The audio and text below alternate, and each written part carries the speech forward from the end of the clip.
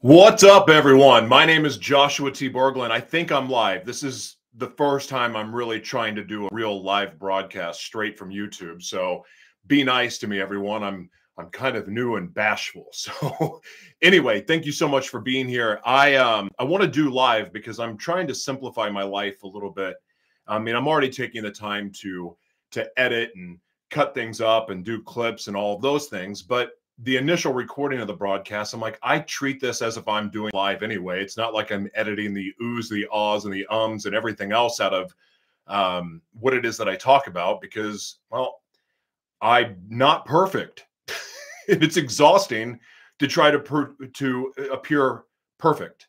Uh, all of these amazing new editing softwares that we have that will automatically remove the ums and ahs and and and it can make it sound like we're coherent when maybe we're not and the thing about all of the clips, and we're actually going to talk about gene editing today, but I'm going to rant about clips real quick. You know, I, I love clips because they give me this temporary dopamine fix of, hey, this is great. More people are watching my content on YouTube. And the truth is that I have this up and down relationship with YouTube. I don't really understand it. Sometimes I get views, sometimes I don't. Even on short, sometimes I do, sometimes I don't. But I don't care because I like this live platform and I'm going to use it. I don't want to go to Kick. I don't want to go anywhere like that. Just going to use YouTube. Uh, and it just simplifies my life. And my goal in what I'm doing as a one person media organization is finding different ways to simplify the process and to speed up the process in what I do as far as production and so forth. Anyway, so I'm glad that you're here today. Uh, this is, again, the first real live intentional broadcast that I've done ever on YouTube. I've used multi-purpose uh, streaming software in the past, then got away from that because I just simply wanted. Um, I, I I would just kept having issues and problems every time I was trying to do a live, and I don't know. So long story short, started doing pre-recorded because I wanted more professional looking broadcast. I wanted my broadcast to appear like they belong on TV and uh, and now I don't care about that anymore at all. I learned how to do all of these amazing things with editing and production, and now simply I would rather just not edit uh, at all. I'm I'm glad I learned it, but I, you know, would rather you see the screw ups and all that stuff. So, anyway, thank you again for being here. So today we're going to talk about gene editing, and oh, really quick, you see that bottle? Where's my finger? That one right there. That bottle right there is the sponsor of this broadcast. That is GenoStem. You can go to genostem.com.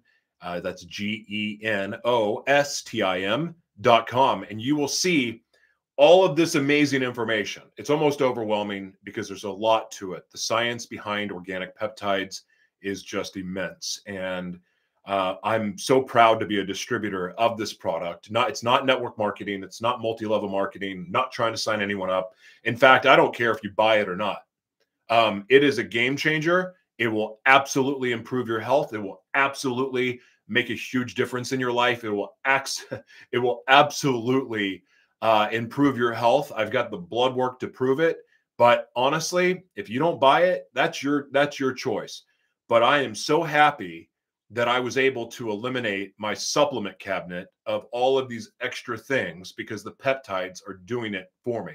It's awesome. So, thank you to GenoStem. You can use the promo code MAYOR to save 20% on your order, your risk free order. And that means that you get a money back guarantee if um, if you don't like it in other words you can get your money back anyway okay enough with that let's get into gene editing so you know i've heard about designer babies uh, in my life, I've heard about being able to modify DNA and uh, we can make these glamour babies. I've heard of all of that. And then I think about Hitler and the the what was it, the perfect race that he was trying to create of human. And then, you know, and so and we've seen on magazine covers like Time and Newsweek and and other magazines, and including uh, there's been a lot of scholarly articles to come out about gene editing. And the fact is that there's pros and cons to this. There's there's absolutely uh, there's going to be positives, and and the positives are in just they're immense. But but there's a whole other side to it. It's kind of like this, like our cell phones. Our cell phones the are just such a great example of convenience, being able to communicate on demand in a way that we see fit, whether it's through writing, whether it's through a video, whether it's through audio. It is like everything is there on demand. The internet is right there in our pocket. The internet is just whew, everything like we want, right? And the internet, we can search and buy and research and get information. Don't know if it's true or not, but we can get information. We have all that access. And it's been amazing. It's transformed businesses, it's created jobs that didn't exist before. But then it's also created problems that didn't exist before or enhanced problems that had existed, but because of convenience, it's turned into something that's become more wicked. And so there's pros and cons to our phones. There's pros and cons to electricity. There's pros and cons to getting a million dollars. There's pros and cons to everything. And so, where most articles or most broadcasts that, you know, with the internet the way it works now, and I believe that this is changing with everything in me, maybe it's already changing now but right now, where we where the internet rewards niche and you focus on that, you just pump out content about that specific niche and you hammer it. That's how you're rewarded. But so that there's no reward system for presenting a full spectrum approach like they the internet rewards opinion and sticking to that but really this would be better if we just shared all of the information and provided value in that sense where hey look there's pros but here's there's cons too. So with that said let's get into gene editing. Greetings everyone and so i prepared this um, today and so i'm going to read some of it because there's a lot of information here. There's no way i could you know that i could memorize. Um, i should tell you this that and this was the same way when I when I had a when I was an evangelist and I had a ministry. Um, I would always say that I'm not a qualified preacher. I was put into this position uh, because I had the opportunity, and I'm not afraid to speak. I'm not afraid to. I love I love broadcasting. I love speaking on stage. And when I was given the opportunity to do my talk show at a church, um, I went for it. But I'm not qualified to be a preacher. I wasn't then, and I'm not now. Um, and I'm not an expert in gene editing. I'm not, but I did research, I prepared information. And the way that I like to approach most broadcast is simply by saying that I I like to learn with you. I'm curious. I have interest. I have things that, you know, to me, I'm going, you know, I I I, I want to know more. And for me, one of the best ways that I learn is reading out loud and discussing it. And so that's what we're going to do here today. So I'm not an expert on gene editing. Don't come to me to speak at your, well, actually, I would speak at your gene editing conference, but uh, I'm just learning along with everyone else. So here we go. Greetings, everyone. It's a pleasure to be here with you today. We're diving into the fascinating world of gene editing a cutting edge technology that allows scientists to make precise changes to an organism's DNA. This groundbreaking innovation has the potential to revolutionize the way we approach genetic diseases, agriculture, and conservation efforts. In this presentation, we will explore the moral implications and the advantages and disadvantages of gene editing. And I encourage you to share your thoughts and questions throughout our discussion. What is gene editing? Gene editing is the process that enables scientists to modify, insert, or delete specific genetic sequences, offering incredible opportunities for genetic manipulation. One of the most one of the most widely used gene editing tools, CRISPR-Cas9, is derived from bacterial defense systems that target and cleaves gene editing. Wait, I'm sorry I, let me reread that sentence. Dad gummit. like, this is, you know, me and reading out loud is a new thing. And uh goodness gracious. Okay. Whew, that is a little embarrassing. Okay.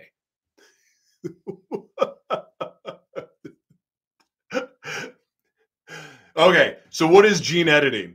Gene editing is the process that enables scientists to modify, insert, or delete genetic sequences, offering incredible opportunities for genetic manipulation.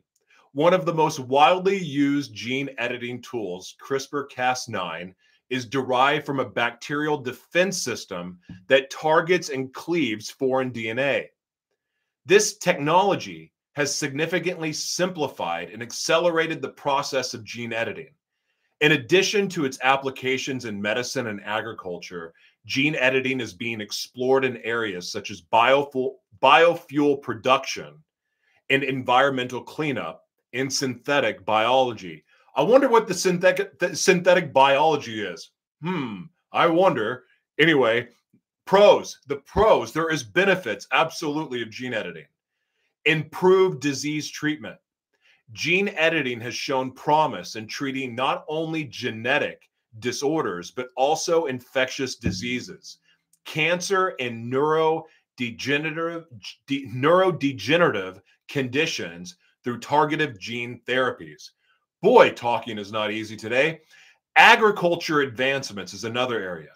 Gene edited crops can be developed with enhanced nutritional profiles reduced environmental impact, and increased resilience to climate change, contributing to sustainable agriculture. I got a question about this. And and this is something I'm I again I prepared this and I pulled from a bunch of different articles and other things to to put this together. But the thing I want to understand is can you edit the gene of a crop and it still be organic?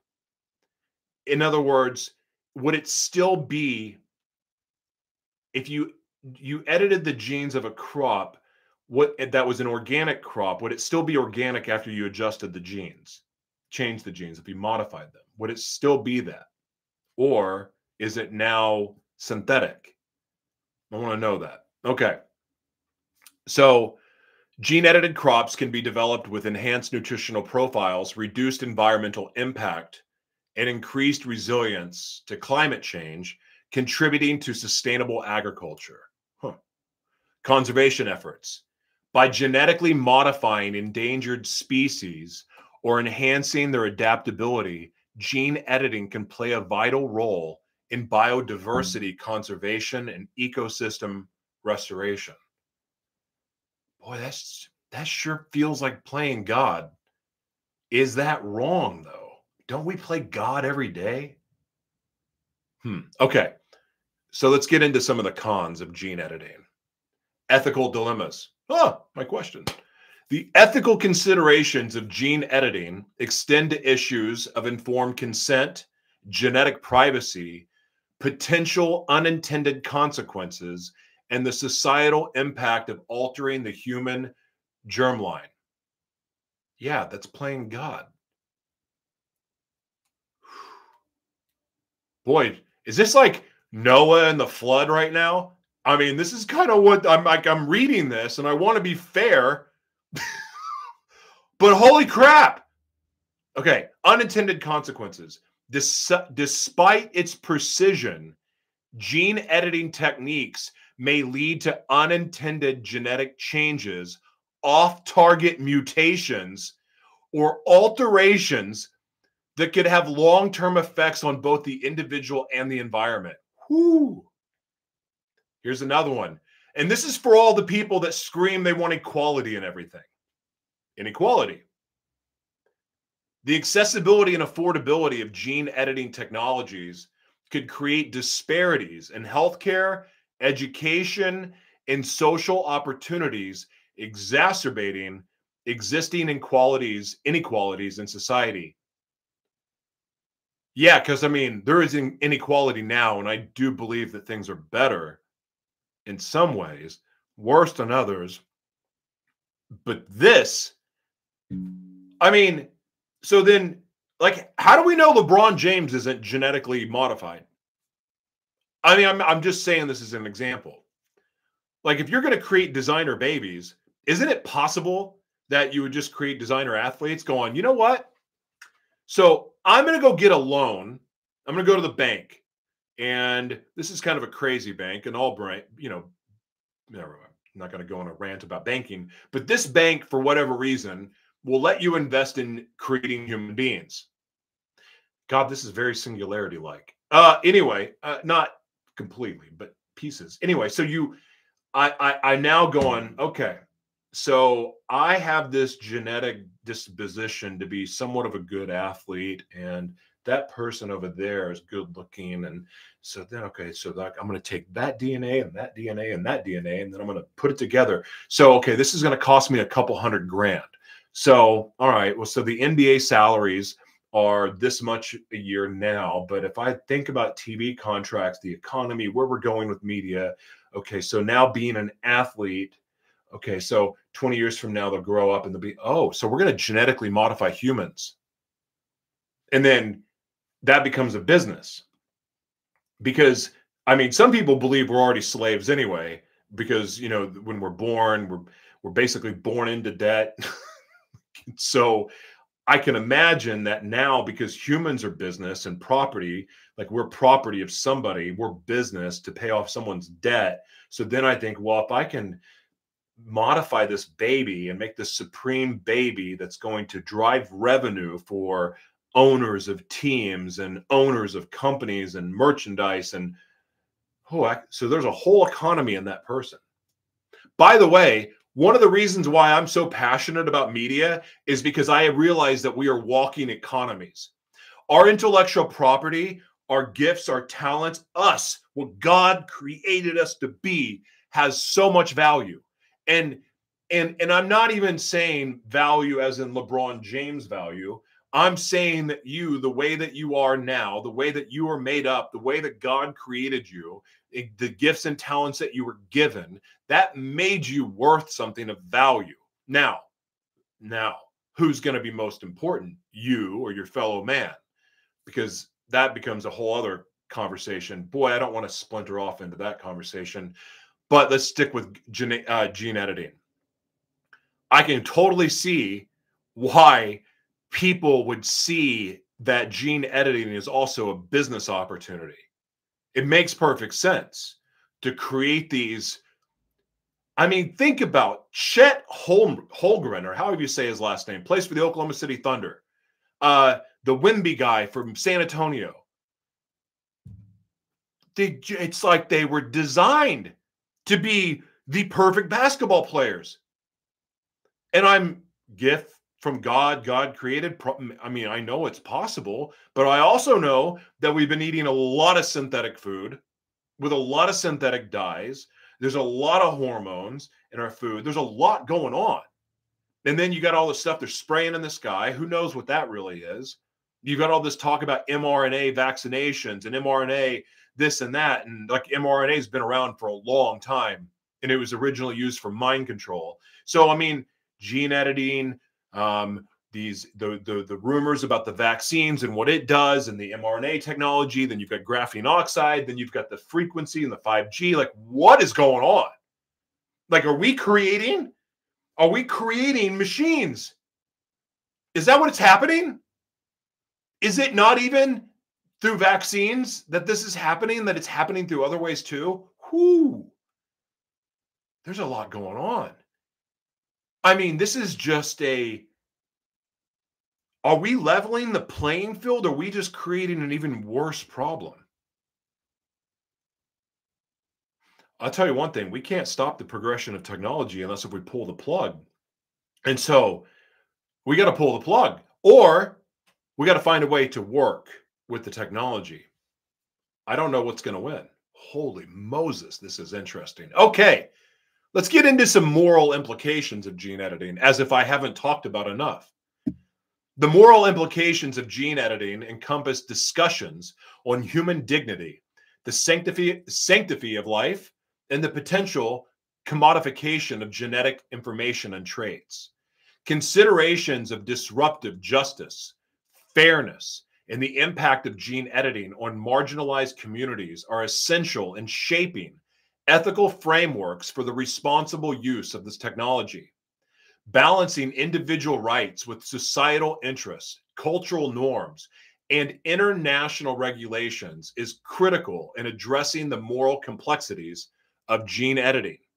In conclusion, as we navigate this dynamic landscape of gene editing, continuous dialogue and collaboration among scientists, policymakers, ethnicists, ethnics, and the public are essential to guide ethical implementation and regulation of this powerful technology.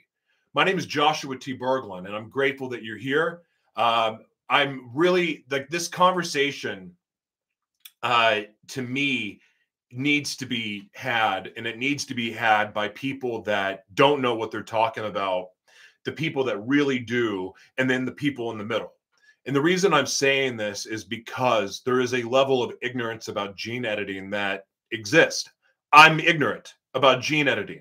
I learned a lot through this, through reading this. And and then and just in and then putting this together and I mean it's just we got to have this conversation because there's so many benefits to it.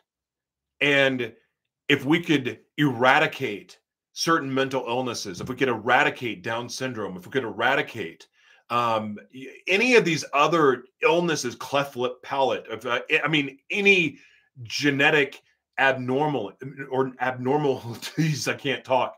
Um, like we have an opportunity to be able to heal people. But yet at the same time, if it's not regulated, like we could create a monster that we can't control. But then who do you have regulated? Because that's a lot of power. I think about Batman.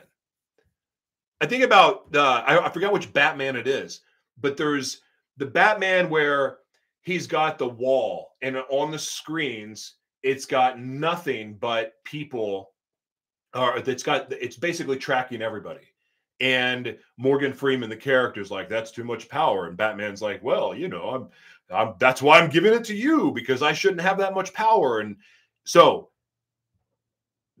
like, it's a lot of power. The responsibility that people in power have is, well, I mean, obviously godlike in some ways, not to be blasphemous, but this is a lot. And so now they're already playing God, practicing gene editing and everything else. So, really, how far along are they that we don't know about? So, is it too late for these discussions? Is it too late for the discussion about what's happening with AI? I, I mean, and here's what I believe based on the things that I've seen with the groups of people we get to work with. There's there's a huge demographic of people that want nothing to do with the World Economic Forum, yet at the same time, they want nothing to do with stopping the progress of technology. So there's people with money that are building ecosystems that are meant to offset what's being done with World Economic Forum in the United Nations, smart cities, freedom cities, stuff like that. But who's to say that when they have that power, they won't abuse it? And that is one of the reasons why I believe that we're going tribal as a world because no one's going to trust their leaders. I don't know if they do now, but that those days are over. And I believe that this world dominance of anyone is over. I believe that the days of mega celebrity are over. And I believe that we all have an opportunity to step into our positions as leaders, as thought leaders, educators. I believe educators, especially people that are teaching, will be the new celebrity in the new world because they're going to be responsible for educating the like the wisdom right? The wisdom from teachers is going to be responsible for educating and help guide the creators of the new world because this current world in my opinion is being destroyed and a new world is coming up. That new world is the, our opportunity to to build it up right and to build up the world that we want to see the world that we want to be in that's this opportunity that we have. But it's like we're being given godlike power again. How are we going to use it? I don't know the answer to that. because I know this. There was a time in my life that I used to have a whole bunch of money and I was an a hole with money. I wasted it. I wasn't a good steward. I didn't know those lessons and I lost everything. Got all my money back and then lost it again because I was an idiot. I hadn't given up my drug habits and everything else and I hadn't learned I still hadn't learned to be a good steward. But then, you know, God worked on me because I was willing to be worked on. and, and because of that, I've been on this long journey of rehabilitating my life. And it sucked. It has sucked. It has been tough. It has not been easy.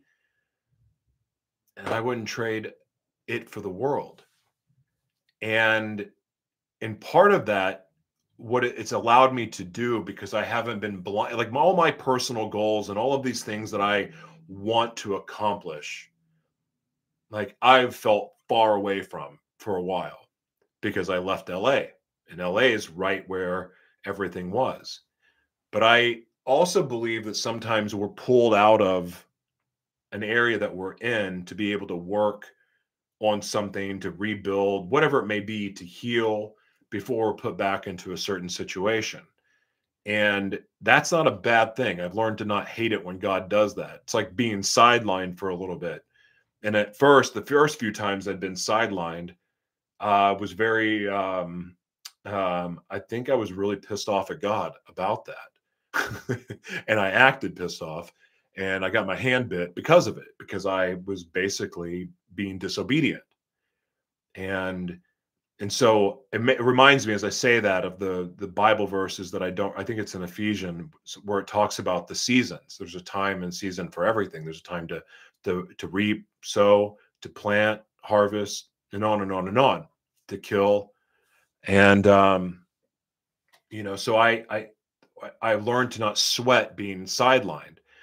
But I got to tell you that um, because I really believe that those promises that we have that God shows us, and I believe that God showing us comes from downloads. You know, obviously, sometimes God will communicate through other people. We can read it when reading the Bible or any other holy text because God can speak through James Patterson novels, from my experience. And um, so I don't think it's limited to anything, but obviously reading a holy book would be beneficial. Um, I think, I think, sure. But again, God can speak and use anything. But there's no, like I've learned through this time that, you know, like I, I want to be in the game. I believe that when God shows us something that is a promise, especially when we're seeing it over and over and over again, but that promise doesn't mean it's going to happen today. and that's one of the things that I took so long to learn about visions and what it meant. And then today I was listening to something and it said, you don't want those visions like to happen right when you get them, which I'm like, well, you know, like that sounds crazy. Of course I would want it, but no, not necessarily. Because if we're not ready for it, if we're not ready to be a good steward for those blessings, or we're not mature enough to be able to handle what's happening in that moment. You know, we get some negative feedback and we're not emotionally or spiritually mature enough to not bite their face off. You know, there's all kinds of stuff like that. And so God's timing, I don't know how I branched off into this, but God's timing always proves to be perfect. And I'm grateful for that. Now, sticking with gene editing, what we were talking about on this broadcast, um, there's a lot of decisions that you know we have to make and i think the only way to get through this is by making decisions that are that we feel is best for us prayerful decisions because i don't think that we can really trust our fellow man at this time to really say what you're saying is true because how do we know it's just not a perception of that and we're not just taking someone's opinion to be true then applying it to our lives and that may not belong in our life so the the gene editing, AI, the advancements of technology, I don't believe that we can stop it, and I don't believe that we want to. But right speaking voices need to be heard, and right speaking, heartfelt voices, true voices, need to start speaking because if this goes the way of greed, we're in trouble but I believe right now we're at a unique position where we can we can take the power back. We can redistribute the power and make it where the hands the power lies in the hands of millions, not one, not two, not three, not four, not five, not six, millions.